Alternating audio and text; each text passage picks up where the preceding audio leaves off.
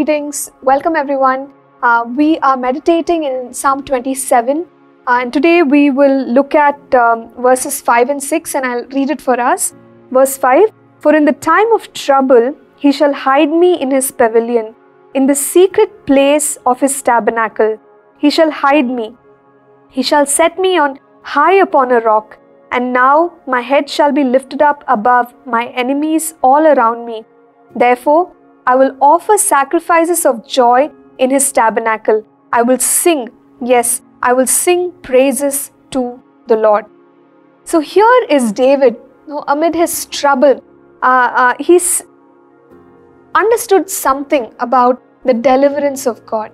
And this is what he says. He says that, uh, you know, God is able to work in such a way that uh, David can be hidden. You know, even if uh, the foes, the enemies are fierce um, uh, and coming to, to uh, uh, you know, completely destroy David, he's saying that God, I have understood that you have the capacity to hide me.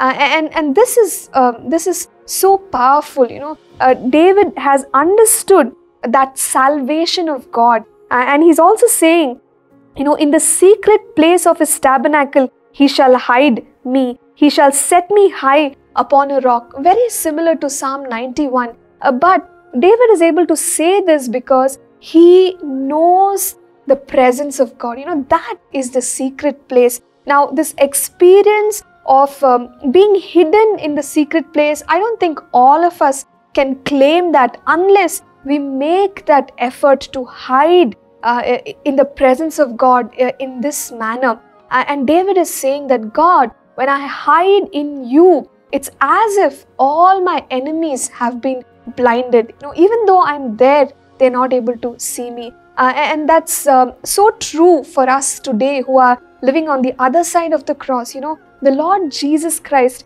has provided us salvation, which has covered us, uh, you know, of, uh, from the enemy who is uh, Satan. And we know that he is a defeated foe, that we are uh, living from a place of victory. And no matter what arises against us, no, God is our rescue. Uh, God um, uh, has already delivered us through His work of redemption. So you know we can trust in that uh, that that work of redemption that Jesus has performed.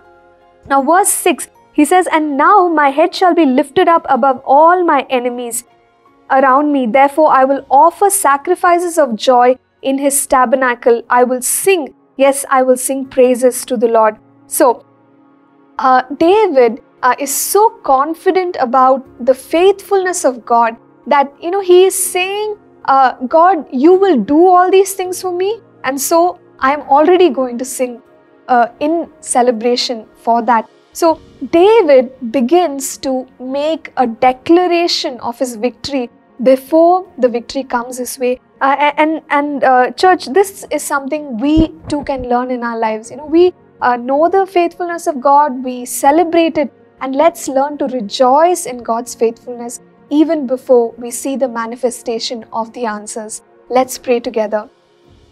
Heavenly Father, we thank you, God, that uh, you are a mighty deliverer, uh, and God, that uh, you are our rescue. Father, uh, because of your faithfulness, Lord, we rejoice today, Father God. Lord, even if we find ourselves in, in challenging circumstances, Father, thank you, Lord. Thank you that your faithfulness is real, and God, that we will experience, Father God, uh, Lord, a breakthrough, and we worship you for that.